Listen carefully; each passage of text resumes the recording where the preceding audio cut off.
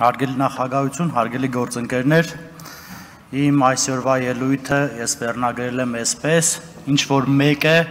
կամ ոչ մեկ է։ Սիրելի հայրենակիցներ, ճիշտ ասած, այս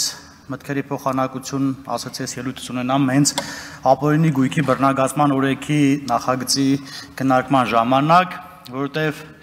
այն մարդիկ, ովքեր այս պահին դրսում պայքարում են, չեն պայքարում Արցախի համար, չեն պայքարում Հայաստանի Հանրապետության եւ հայ ժողովրդի համար, այլ պայքարում են իրենց ունեցվածքը պահելու համար։ Տեսեք, կանդրադառնամ մի քանի հայտարարությունների։ Ինչ որ մալյոկ հայտարարում է, թե իբրև քաղաքացիական պայմանագիր կուսակցությունը չունի իշխանություն։ Սիրելի հայրենակիցներ, մենք ամեն օր մարզերում, գյուղերում, քաղաքներում շրջում ենք, խոսում ենք,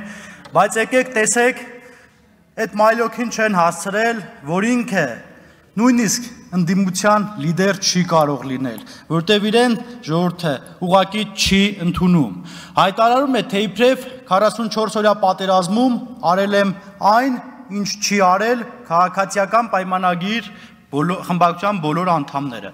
Ուրեմն ձեզ հայտնեմ մի տեղեկություն։ 44 օրյա պատերազմներ, հոկտեմբերի 20, երբ մի Սաղաթելյան ազգանով մեկին բերեցին իմ ջոկատ, Գեղարքունիք ջոկատ, որի անունն էր Վաչիկ Սաղաթելյան, Իշխան Սաղաթելյանի հայրը,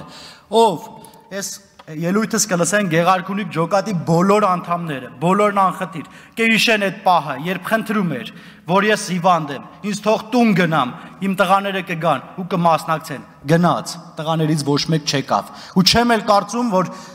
մեկ օր գոնե գնացել են 44 օրյա պատերազմի ընթացքում։ Ու այդ մարդը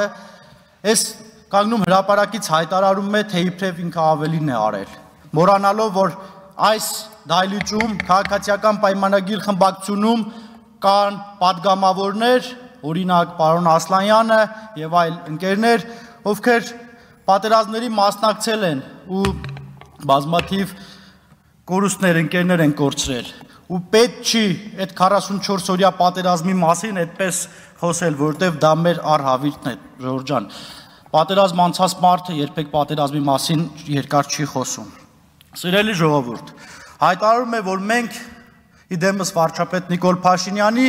դիկտատուրա ենք հաստատում Հայաստանի Հանրապետությունում։ Ժողովրդավարությունը մոռանում է դիկտատուրայի հետ։ Մոռանում է 2008 թվականի մարտի 1-ը, երբ մեզ ծեծելով եւ դեռ 17 տարեկանի անչափահաս ծեծելով անում էին ոստիկանական բաժանմունք։ Երբ 2012 թվականի Հայ ազգային կոնգրեսի ժամանակ ոստիկանությունը չթողեց շտաբումս մնայի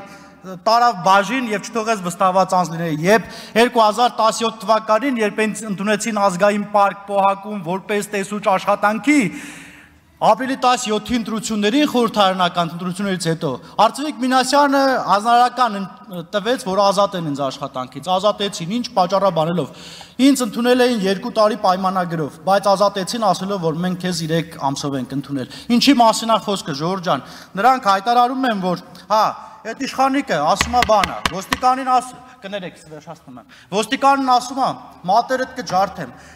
Ախր մենք իրեն հələ մարսպետարանից գիտենք, Ժորժ ջան, երբ մտնում է իր սենյակ, ոդքերն ու ձեռքերը դողում էին, ին դուրս գալուց հետո էլ հերախոս վերցնում զանգում է տարածքային կառավարման նախարարություն եւ բողոքում թե Գրիգորյան Նարեկն իմ հետ բարձր է խոսում։ Ու այսօր այդ տղեն խոսում է դուխից։ Եվ իմ զորակցությունն եմ ուզում հայտնել այն ոստիկաններին, ովքեր վիրավորվեցին ինչ-որ խուլիգանների կողմից եւ եւ այն քաղաքացիներին, ովքեր մոլորված են եւ այս պահին չգիտեն ինչ են անում։ Շնորհակալություն։